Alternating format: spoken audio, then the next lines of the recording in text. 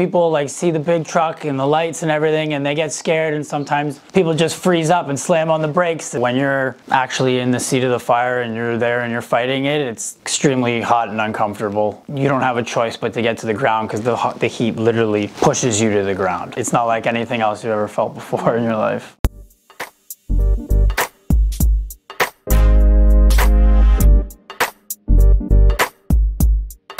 Hi, my name is Dan and I'm a firefighter with the City of Vaughan. No, no, no, no, we're still going no matter what. Yeah, rain or shine. One of the things we would do every single morning uh, would be donning and doffing and making sure that we can put all our gear on with our pack within 90 seconds so we're ready to go. Well, so then there's like our regular like uniform that we wear, and then on top of that we have our bunker pants, our bunker coat, and then we also have our SCBA, which is our breathing apparatus, and then our helmet and a balaclava that goes over our face, as well as our mask. We have a course called defensive driving, so it's where we learn how to drive aggressively uh, in emergency situations, but we have to follow the rules just like anybody else. So we have to stop at red lights, we have to obey the speed limit, we can get pulled over just the same as anybody else. So we have to exercise everything with caution. Yes, we can go through red lights if we stop fully, have our lights on, make sure everybody's stopped and proceed through, but that doesn't mean that we can just speed right through. We gotta make sure everybody's safe before we go, because if we get hurt on our way there, then we're of no use to the people that we're trying to come help. We're always dealing with like, oh, you know, it's common sense to pull over to the right, but for some people, they've never had a fire truck barrel in behind them, right? So they didn't know what to do, and it's fine. It's just kind of frustrating when you're trying to deal with it.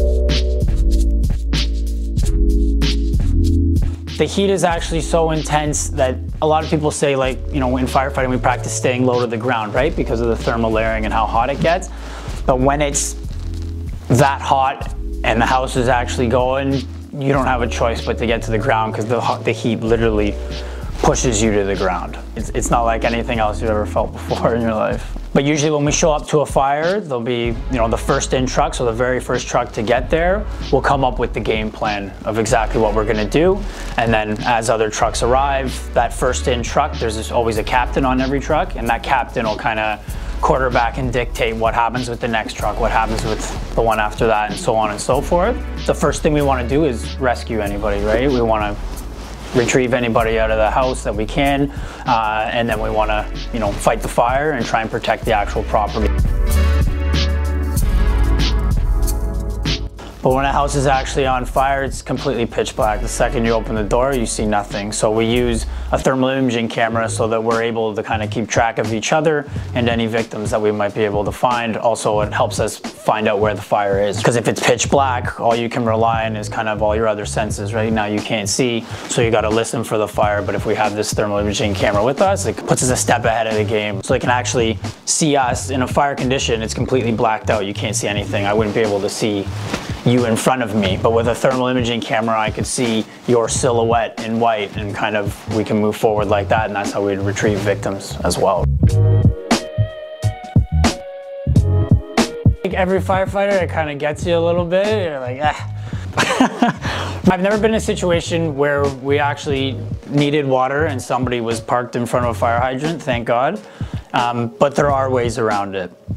And I'm sure if you Google it, you can see pictures of people who have had their windows smashed out and fire hose put through there, uh, through the center of their car, and they can't get their car out until we're done doing what we have to do. Or, you know, I like there's so many different ways around it and it would, you know, be unfortunate, but at the same time, those rules are there for a reason. We don't write the tickets, so if, if, if we did see something like that, we'd probably let a police officer know and then, or a bylaw officer and have them come in and take the appropriate measures. Yeah, that like I, we always, you know, sometimes you go around the street corner and you see people like holding their ears or they're yelling and whatever, and I understand, I get it, you know. It, it is what it is, right? Like we have to do that. We have to make people aware that we're about to go into an intersection because if somebody's playing their music really loud, windows are rolled up, they're not paying attention, they're talking on their phone. If we're not being loud and, and lights aren't going, then they don't see us you know, it's not good for them and it's not good for us. So it's something that like we literally we have to do. There's no option to, to not do that when we approach an intersection. We can't shut our uh, sirens off because it's part of our procedures, it's what we're supposed to do.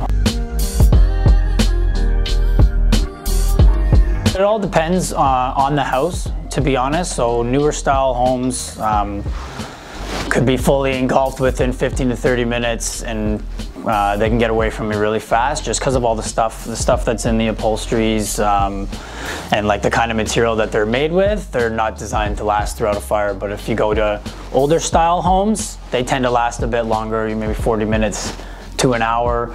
But it's all it's all relative, right? It depends on what's inside of them. Uh, that's the biggest thing. We call that like the fuel load. So the majority of the majority of stuff in there is like synthetic materials. It's going to go up a lot faster.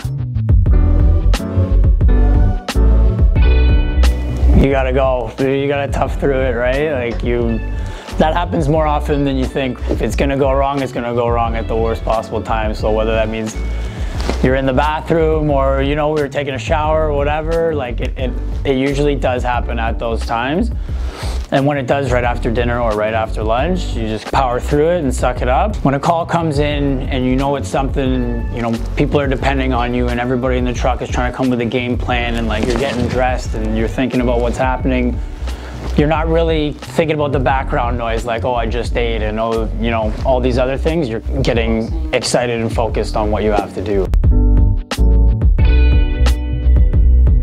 So there's several different programs. Uh, one of them that I did was I went to Seneca College and I went to night school actually for firefighting while I was doing uh, in my other career. And then from there, uh, I went to Texas. So they have a, a, program in Texas that you can do. And I went to school there as well and then came back and I started volunteering uh, where I was growing up. And then from there, I got into Vaughan Fire. I think it's different with everybody, but for me, uh, it took me about three to four years uh, to get hired, and that was like, you have to pay money every time you apply. Um, you have to keep all your certifications up. Some people, you know, that it's only taken a year. I know other people that it's taken 10 years. We have like an overall salary that we make, and then when you start off, you make 55% of that overall salary, then 60%. So 55% for the first three months, 60% for uh, the last nine, or the next nine, and then every year it goes up 10%. Depends on what fire department you work for, but typically between 90 and $100,000. I love the people that I work with. more than more than anything, I, I love firefighting. I love training. I love the job. I love the look on people's faces when you know you know you've made a difference. But the most important thing that I look forward to going to work every day is my brothers and sisters that I work with. That's the best part about my job. Those are the people that I see every day, that I help every day, that'll stand behind me every day. Those are the people that keep me coming into work every day.